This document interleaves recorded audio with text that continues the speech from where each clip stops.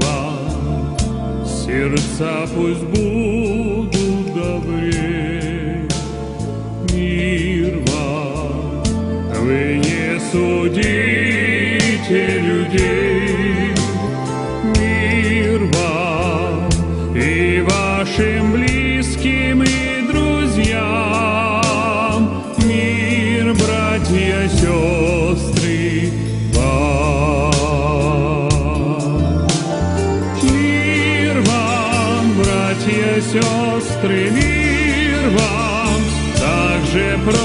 просто вы говорите. Всем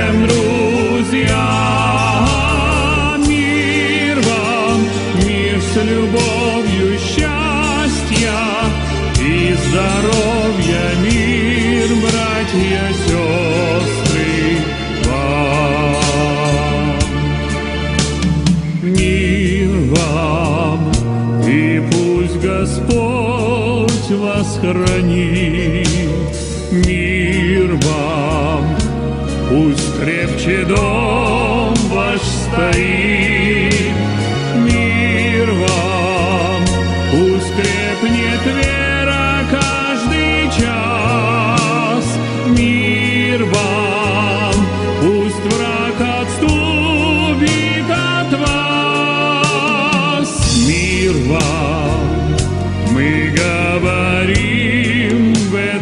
Этот час.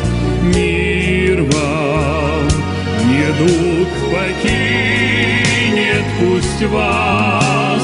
Мир вам, конца не будет вашим дням. Мир, братья, сестры, вам.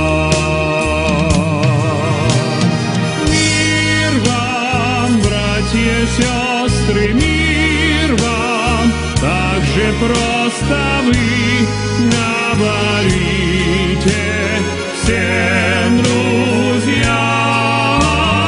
Мир вам, мир с любовью, счастья и здоровья,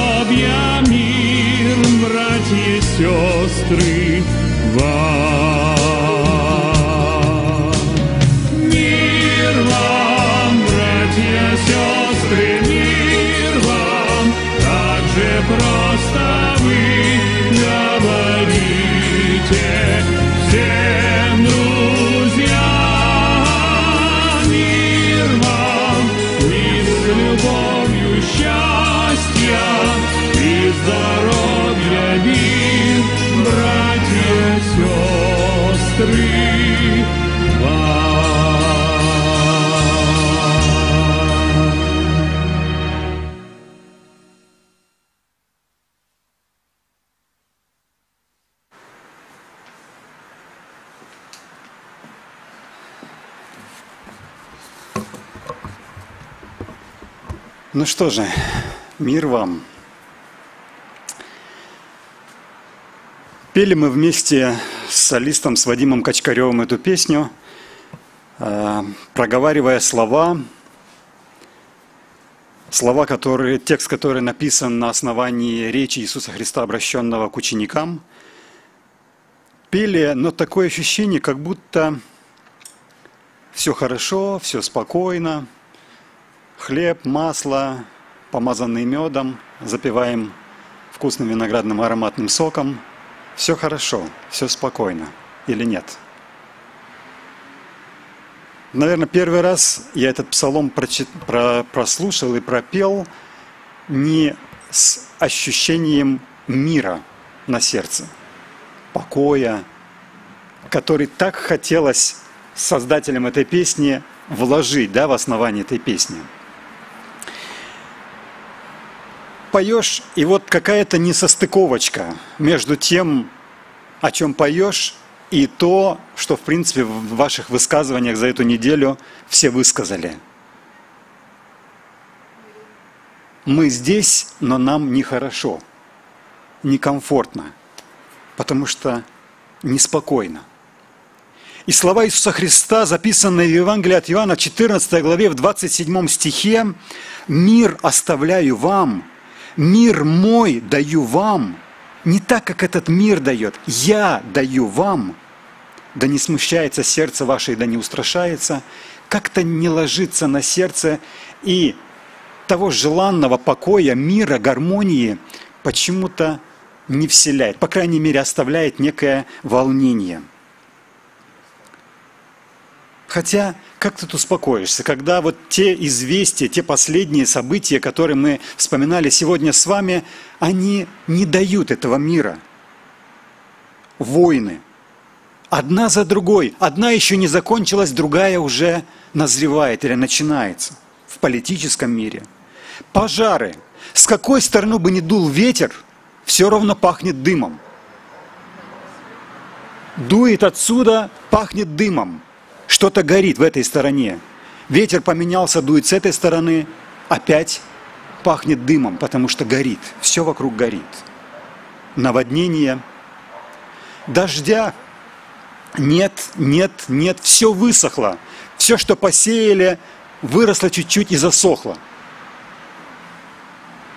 И вот за несколько часов налила годовую норму – Конечно же, бедная земля, иссушенная, не может это все поглотить и уносит все вместе с животными, с домами, с машинами, с людьми. Болезни. Одна за другой, одна за другой. Болезнь только тогда кажется полегче, когда появляется следующее, более страшное, более тяжелое – не знаю, может быть, не совсем кстати будет эта история или байка из интернета, которую я буквально сегодня услышал. Но она очень тонко подмечает суть этого высказывания. Некий автор пишет, проснулся я в поту ночью от сна, в котором вижу себя в 2021 э, году летом жара убийственная. Землю охватила кишечная пандемия. Сидим мы с друзьями в памперсах, обсуждаем и говорим, а все-таки в масках в 2020 году было легче. Грустный анекдот, грустная байка, но она так тонко отражает суть. То, что было в прошлом году, мы уже не так остро реагируем или остро чувствуем – а вот то, что сегодня так надоели эти маски. Но вы знаете, чем дальше, тем больше и молодых, и более старшего возраста людей я вижу в этих масках несчастных. Потому что мы видим, что нет-нет, и это реальность, которая накрывает нас. Уходят близкие, родные, люди, которыми мы дорожим, которых ценим – которых нам так не хватает. И эхом отдаются эти слова «Мир мой даю вам».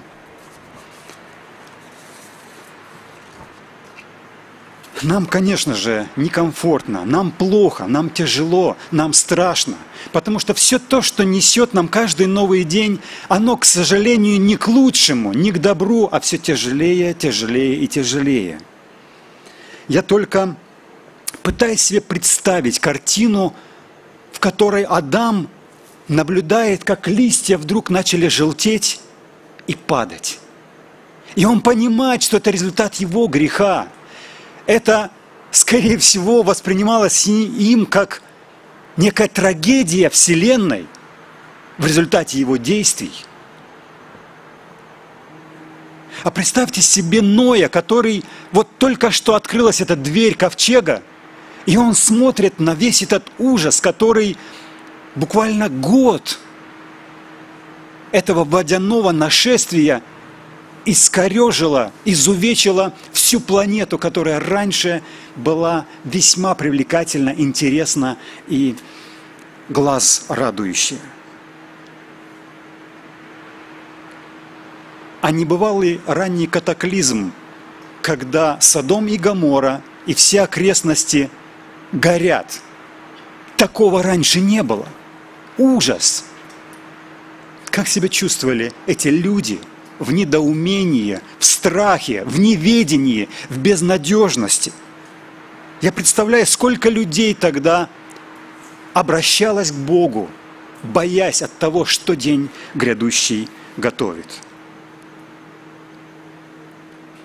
Представьте себе страх и ужас израильского народа. Он много раз побывал в плену, в рабстве.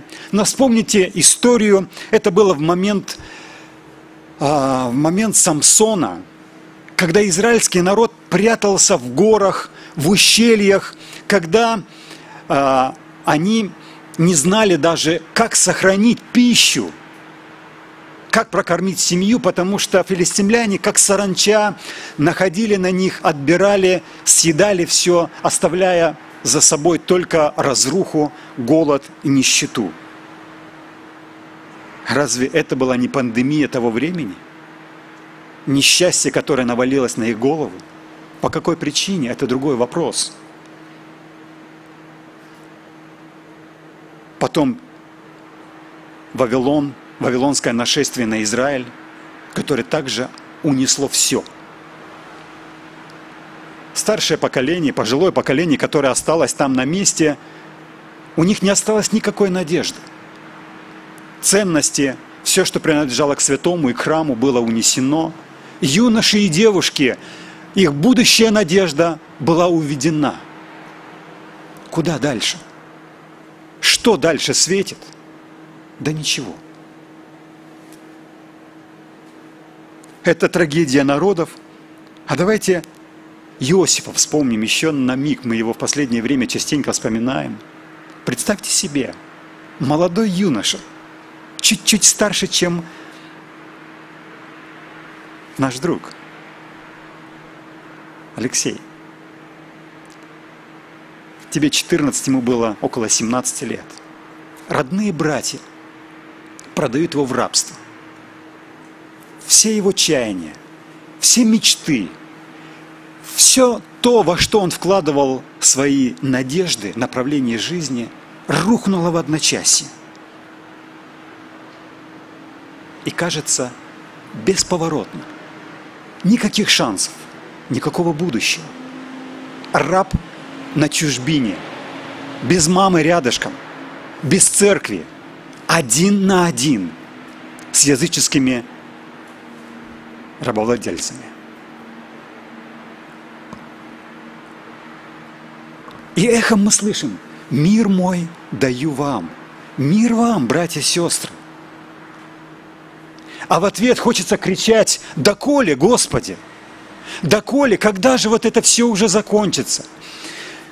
Да, когда мы читаем Псалом Асафа, 72 17 э, стих, там мы читаем о том, что все это Асаф перечисляет, да, и дальше он пишет, «Доколе не вошел я в храм и не увидел кончины их».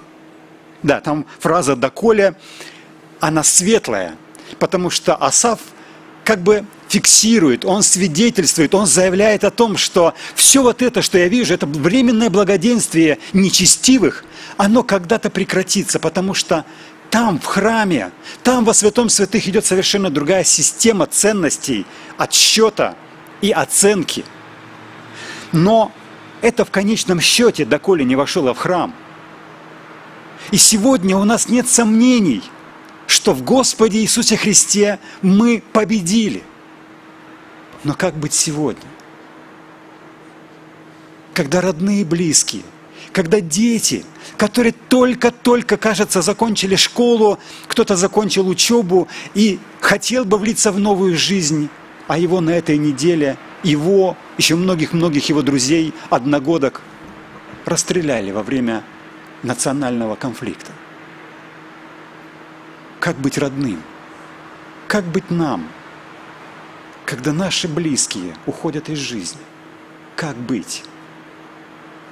Говорить мир вам, все нормально, все спокойно, или кричать вместе с вами, сестра Неля, доколе, Господи. Кричать громче, все вместе, Господи, пожалуйста, останови это уже, потому что сил больше нет.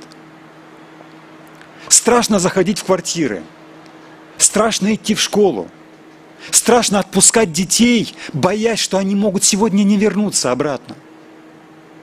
И мы их отвозим. Я к сожалению, своего не отвожу уже, а частенько пишу, потому что на телефон не попадает, так я ему голосовое сообщение отправляю. Данек, у тебя все в порядке? Да, папа, долетел, спасибо, все в порядке. Данек, ты прилетел? Да, папа, все в порядке. Встретился? Да, все хорошо. Кто рядышком с детьми, здесь многие, я знаю, отвозят детей, привозят детей.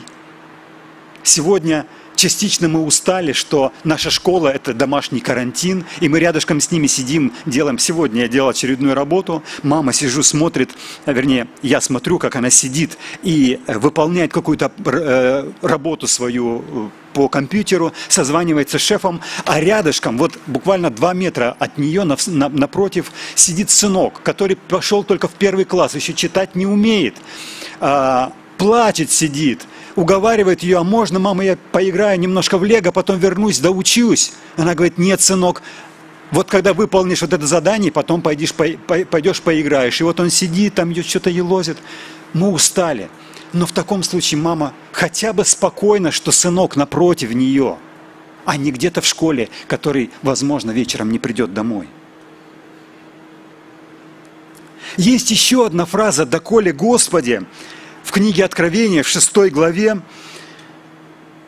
в девятом стихе, там Иоанн записывает слова. «И когда он снял пятую печать, я увидел под жертвенником души убиенных за Слово Божье, за свидетельство, которое они имели.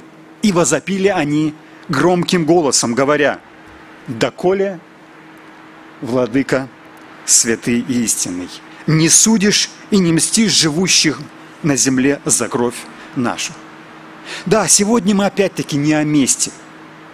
Сегодня эту фразу «доколе» я даже больше озвучиваю не с попыткой кого-то наказать или кому-то отомстить. Просто хочется уже, чтобы не эти эмиграционные «да», не работа, не деньги, а чтобы уже быстрее пришел Христос. И была поставлена это жирная точка в великой борьбе между добром и злом. Чтобы в ответ на вопрос «доколе» услышать «мир вам». Когда все здесь, когда греха уже больше нет, когда все спокойно. Там, в Ветхом Завете, пророк Исаия в 41 главе, в 10 стихе говорит, «Не бойся, ибо я с тобою, не смущайся, ибо я Бог твой. Я укреплю тебя и помогу тебе, и поддержу тебя десницею правды моей. Это всем тем, кто страдал и переживал в одиночестве, в болезни, в лишении, в рабстве. Иисус Христос обращался тогда. «Не бойся, ибо я с тобою». В Новом Завете, в Евангелии от Матфея, 28 главе, в 20 стихе он говорит, «И сея с вами во все дни до скончания века. И поэтому тогда, когда тебе что-то непонятно, помни, я с тобой. И мир, который есть у меня, будет у тебя. Он будет твоим миром. Потерпи только. Сегодня, как брат Анатолий Пастор обратился к Алексею и сказал, потерпите, дайте время. Это все решенные вопросы надо верой принять и дождаться.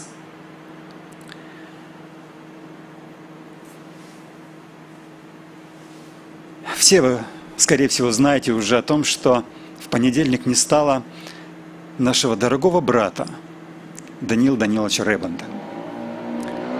Многие знают его лично, общались с ним. Тяжело говорить когда так близко был с человеком.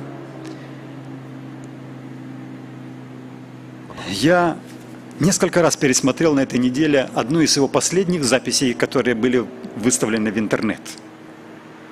Я думаю, что это тоже вы слышали и увидели. Если нет, посмотрите. Это буквально несколько недель назад. В руках Христа могучих.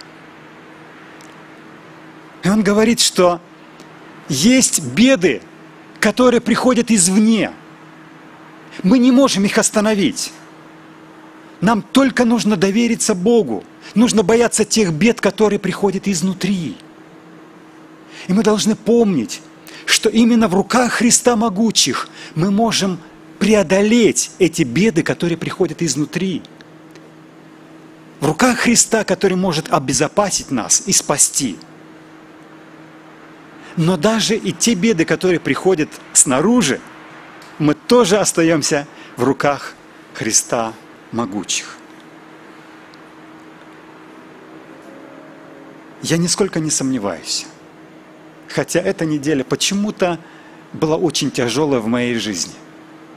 Я нисколько не сомневаюсь, что мы все еще в руках Христа могучих. Я уверен, что та победа, которую мы еще не видим, завершение, или говоря временами греческого языка, совершенное действие или совершенное время, да, мы еще не увидели его. Но верой мы убеждены, что это будет. Чтобы еще раз окунуться в эту атмосферу мира, покоя, полного доверия и ощущения победы Иисуса Христа в этой великой борьбе, я хочу зачитать три страницы из книги «Великая борьба» Вестницы Божией Елены Уайт. 41 глава. Называется она «Освобождение народа Божьего».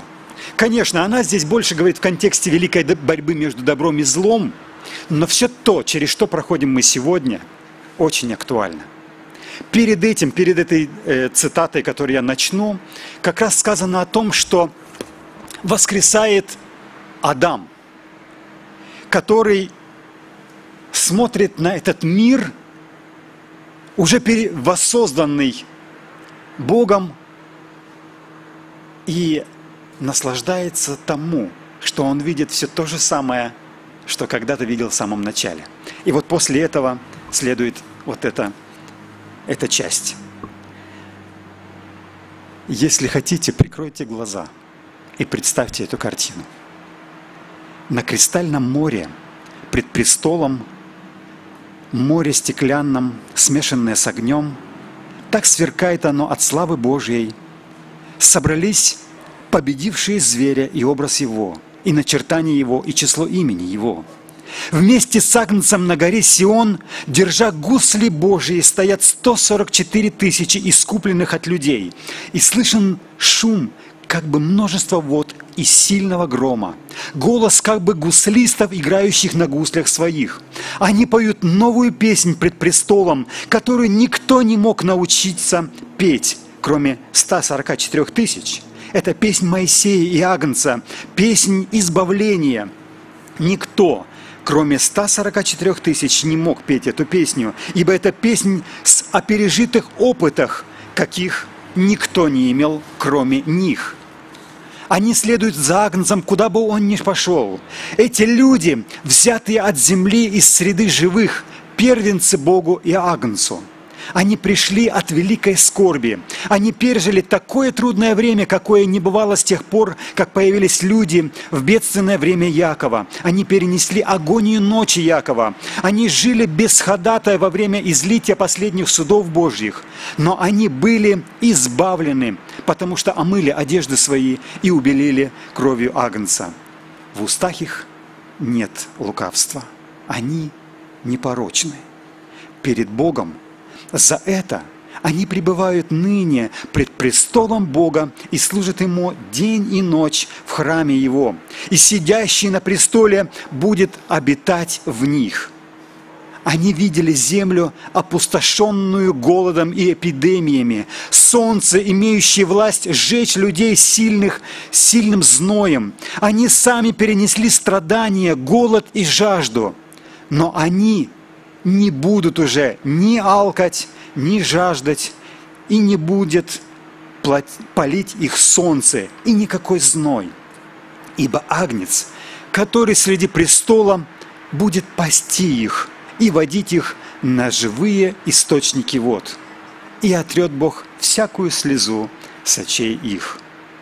Во все века избранные дети Божьи проходили суровую школу испытаний. Они шли по земле узким путем. Они очищались в горниле страданий. Ради Иисуса они переносили озлобление, ненависть и клевету. Они следовали за Ним, за Господом, превозмогая тяжкую борьбу. Они проявляли самоотречение и переживали горькие разочарования. На, сам, на своем личном мученическом опыте они узнали тяжесть греха и его силу, чувство вины и горя, которое грех приносит. Они с отвращением стали смотреть на него. Сознание безграничной жертвы, принесенной ради избавления от греха, смотрят, смиряет их в собственных глазах и наполняет их сердце признательностью и хвалой, чего никогда не смогут оценить не павшие существа. Их любовь сильна, потому что им многое прощено. Будучи соучастниками Христовых страданий, они могут разделить и Его славу. Наследники Божьи сошли с чердаков, вышли из укрытий, тюремных камер, спустились с эшафотов, с гор, появились из пустынь, подземелий и морских глубин. На земле они терпели недостатки, скорби, озлобление. Миллионы с позором сошли в могилу, потому что решительно отказались подчиниться обольщениям сатаны. Человеческими судьями, судами, вернее, простите, они были признаны отъявленными преступниками. Но теперь судья есть Бог – Теперь земные решения пересматриваются. Господь Бог снимает поношение с народа своего и назовут их народом святым, искупленным от Господа. Он постановил, что им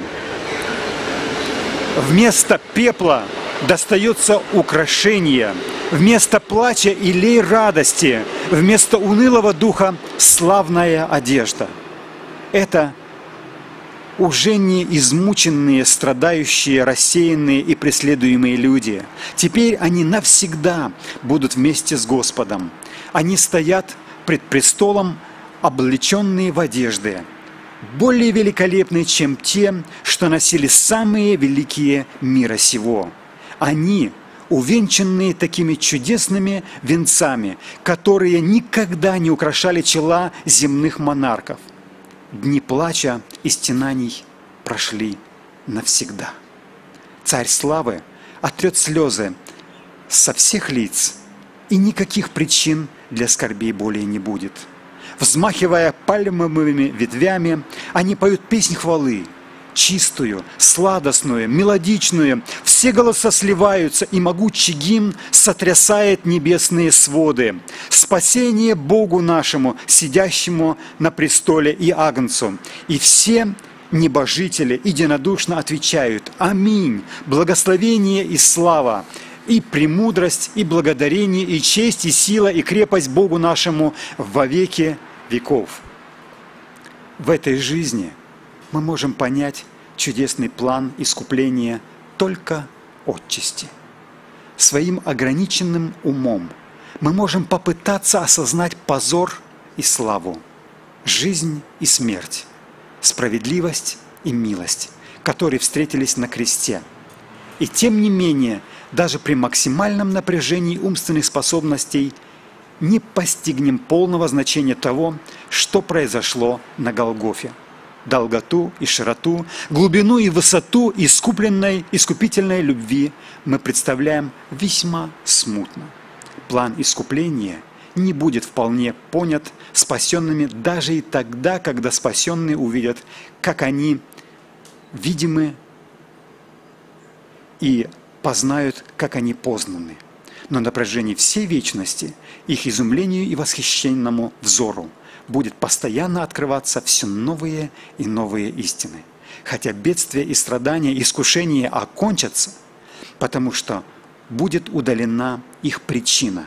И все же народ Божий будет всегда ясно понимать, какова цена их спасения. Я читал эти строки «Мир, покой наполнили мое сердце». Доколе? Да, конечно, Господи. Очень устали. Когда уже дети, малые дети, говорят, Господи, ну когда же Ты придешь? А нам, пожившим чуть более, чем дети, это еще более понятно. Но в контексте этих строк становится все ясно, все понятно. Пусть даже отчасти, но все равно понятно. И когда мы читаем слова, одни из самых последних в Священном Писании, в книге Откровения, 22 главе, 20 стих, свидетельствующий сие говорит, «Ей гряду скоро. Аминь». Автор продолжает отвечать, «Ей гряди, Господи Иисусе». Помолимся.